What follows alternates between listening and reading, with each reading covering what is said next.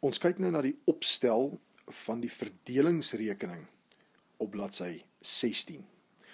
Nou soos reeds genoem, is dit sodat 'n maatskappy nie alle winste aan die aandeelhouers hoef uit te betaal nie. 'n Deel van die winste kan teruggehou word om dan later in uh, te spandeer. Dit is natuurlik ook deel van die aandeelhouers se belang. En dit is wat jy hier lees by die eerste sin, die onverdeelde inkomste of wins baie baie belangrik daar sien na belasting en na dividende. Dit wil sê die deel wat na die staat toe moet gaan as belasting, die deel wat na die aandeelhouers toe gaan as dividende, dit wat daarna oorbly word dan oorgedra na die behoue inkomste rekening. En kom ons kyk dan nou, die berekening van hierdie bedrag word in die verdelingsrekening gedoen aan die hand van die volgende stappe. Nou die verdelingsrekening sal die heel laaste finale rekening wees. Onthou wat ons gesê het, 'n maatskappy, net soos by 'n eenmansaak, net soos by 'n vennootskap, het 'n handelsrekening waar die bruto wins bereken word. Dan het hy 'n wins en verliesrekening waar die bruto wins heen oorgedra is, alle inkomste bygetel word, uitgawes afgetrek word en dan word hierdie netto wins oorgedra vanaf die wins en verliesrekening na die verdelingsrekening. Nou kom ons kyk na stap 1. Stap 1 sê hier vir ons dra die netto wins oor vanaf die wins en verliesrekening na die verdelingsrekening. Nou hier is voorbeeld 5. Voorbeeld 5 sê die volgende gegevens is beskikbaar op 28 Februarie 2016 en dis die einde van die finansiële tydperk. Die behoue inkomste rekening toon nou van die begin van die jaar af 1 Maart 2015 'n saldo van R143 000 en dit kan jy gaan inskryf in hierdie boue inkomste rekening. So dit is wat vorige jare teruggehou is, nog nie uitbetaal is nie.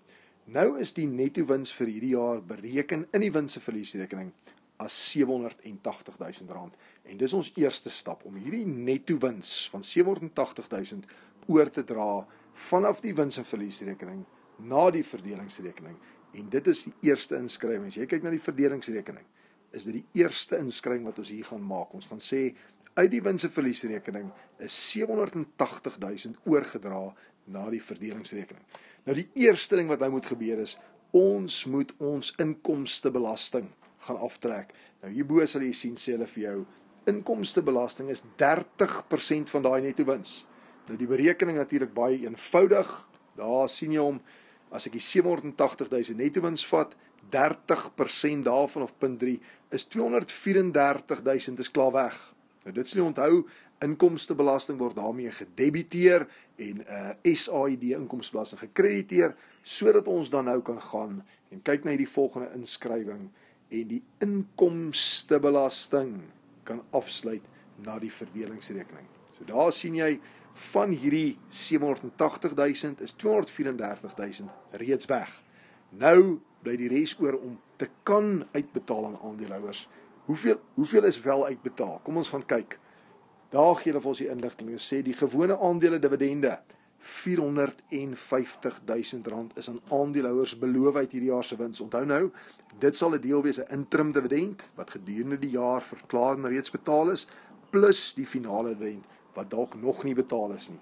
En dit gaan ons afsluit na die verdelingsrekening. So daar kan jy sien 450 000 is afgesluit na die verdelingsrekening.